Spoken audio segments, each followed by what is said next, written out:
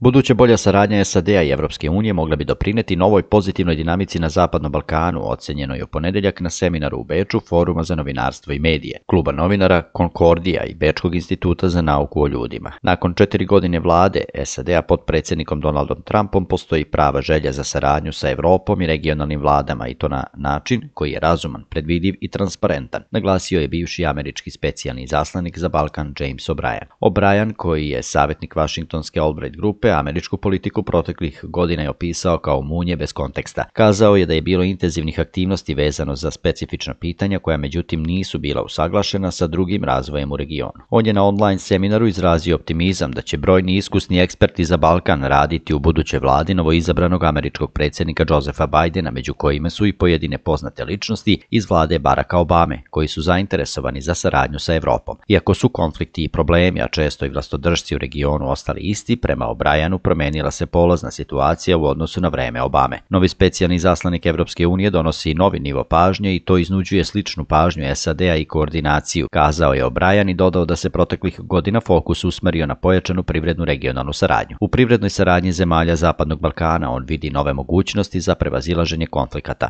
Jedini put tih zemalja da stvarno profitiraju od evropske integracije jeste otvaranje tržišta za svih 80 miliona stanovnika regiona, uveren je O'Brien. Značaj transatlantske saradnje za Balkan podvukao je i Dimitar Bečev iz Američkog centra za Evroaziju Vašingtonskog Atlantskog saveza. Izrazio je nadu da bi ta saradnja mogla voditi ka produktivnoj dinamici, a i o tome da Evropska unija i SAD više ne bi izigrale jedne druge na mestima kao što je Kosovo. Ukazao je da je saradnja Vašingtona i Brisela važna i prema Kini, koji je glavni konkurent. Ukoliko ta saradnja SAD-a i Evropske unije ne uspe, rekao je Bečev, lokalne vlasti na Balkanu pokušaće Kinu, SAD i Evropu da koriste jedne protiv druge kako bi od svake strane izborili najbolji dogovor.